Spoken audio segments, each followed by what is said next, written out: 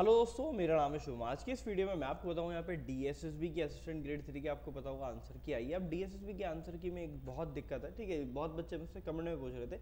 सबको मैंने रिप्लाई भी किया था, इससे अच्छा मैं एक वीडियो बना देता हूँ, सबको पता भी चल जाएगा, ठीक है? और आपको भी बताऊँगा ऑब्जेक्शन आपको कैसे फ़ाइल करना है, ठीक है? सारी डिटेल बताऊँगा तो पूरी वीडियो आने तक देखते रहना। अगर आपने जूनियर असिस्टेंट ग्रेड फोर दास का फॉर्म भरा है तो उसके रिगार्डिंग में कंप्यूटर का सेक्शन बना रहा हूँ। तो उसके नी, नीचे जो है आप प्लेलिस्ट का लिंक मिल जाएगा इसमें कंप्यूटर सेक्शन की प्रिपरेशन कर सकते हैं। देख लेते हैं यहाँ पे क्या है डीएसएसबी की आंसर की असिस्टेंट ग्रेड थ्री कल आया है बाईस दो दो हज़ार चौबीस को ये यहाँ पे आंसर की इसकी आ गई। अब डीएसएसबी की आंसर की ऐसी होती है कि अब मतलब कोई से भी आप एग्ज़ाम की ले लो डीएसएसबी में कोई से भी एग्ज़ाम ग्रेड फोर दास टीजीटी पीजीटी कोई सा भी ले लो यहाँ पे। तो इसमें यहाँ पे क्या होता है? जैसे मान लेते हैं यहाँ पे इन्होंने सवाल दे दिया यहाँ पे इसके आंसर दे दिए इसमें से इन्होंने सही आंसर बता दी कि भैया सही आंसर ये वाला है। अब इसमें, यहाँ पे दिक्कत क्या है कि इसमें ये नहीं आता जो कैंडिडेट ने रिस्पॉन्स किया है। मतलब जैसे कैंडिडेट ने मान लेते दो दो पे टिक लगाया। तो यहाँ पे ये पता नहीं चलेगा कि भैया कैंडिडेट ने कौन से पे लगाया। तो आप इसमें अपने नंबर मतलब नंबर आप नहीं नहीं कैलकुलेट कर सकते।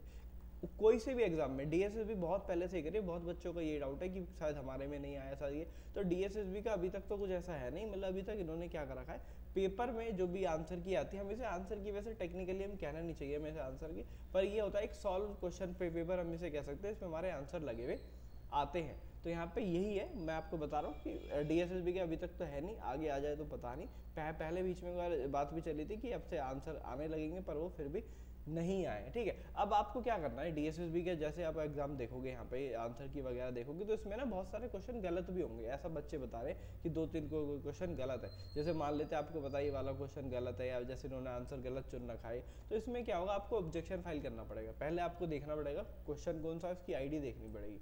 फिर आपको क्या है जहाँ पे आपने आंसर की निकाली है। आपको उसी पेज पे आना पड़ेगा। यहाँ पे ऑब्जेक्शन पे क्लिक करके यहाँ पे प्लस वाले पे क्लिक करना पड़ेगा।